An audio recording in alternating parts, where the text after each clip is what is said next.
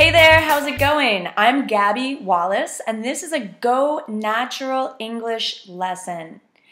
In this lesson, I'm going to answer a question from one of my viewers. The question is How do you pronounce W O R L D? This is a great question because that word that you asked me about combines three of the most difficult sounds in English. They're difficult because they don't exist or they're not used the same way in other languages. So let's start with W. So if you speak German, this might be a difficult letter, but we're going to say W. Okay, so your lips come together in a circle. And I know the um, temptation is to say v. So with the V sound, your teeth are actually touching your bottom lip. For the W sound, your teeth do not touch your lip. You just round your lips and you say w. Okay? The O R in the middle of the word um, they don't actually sound well. So the O, let's start with just the O. The O does not sound like an O. It's a trick. Um, the O by itself would normally sound like O, but in this particular word, um, and actually the word word has the same sound. The O sounds like er because the R after the O actually changes its sound.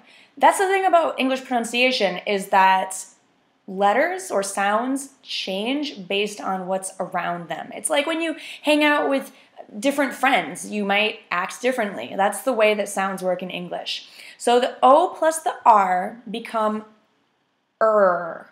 So again, round your lips. They're kind of puckered out.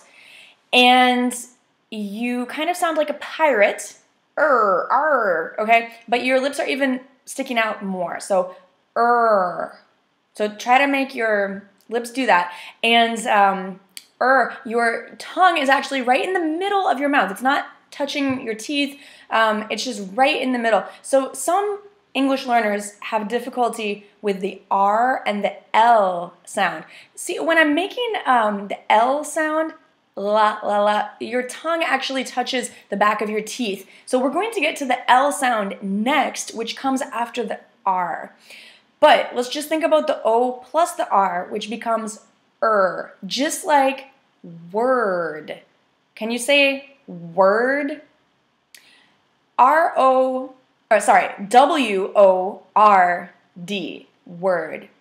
So the word that one of you asked about, one of the viewers asked about, is not so different from word, but we have to add an L between R and D. That's what kind of makes this a little crazy. So R, then to the L. So remember we said R is er, and uh, the L sound, your, your tongue touches the back of your teeth, so L. So let's go from the R to the L. Earl. All right? And then D. D. That's probably the easiest part, right? So put that all together. We're going to go slow. World. Awesome. Let's do it again. World. Really slow. Once more. W. Er. Uh. D. Please don't make fun of me. I'm trying to help. all right, let's speed it up a little bit world. Okay, if you can make each of those sounds separately, now put them together. Now, if you can't do this quickly right away, that's just because you need practice. So don't worry, just keep practicing. World. Awesome. So there's another word that's kind of similar. It has the earled sound. Um, sorry, not the earled, but the earl. That is, well, of course, Earl, like Earl Grey tea. There's a name, Earl, name of a man. And then there's also a little animal called squirrel, which is kind of similar to the word world. And it's even more crazy because you have the S Q U in the beginning. Squirrel.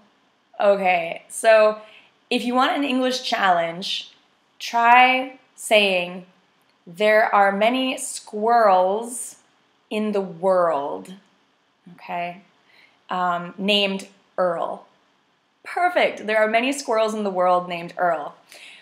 Wow, that's really weird. Okay, so er is probably the most important sound from these words because it's in a lot of English words like hurt or um, world or what else?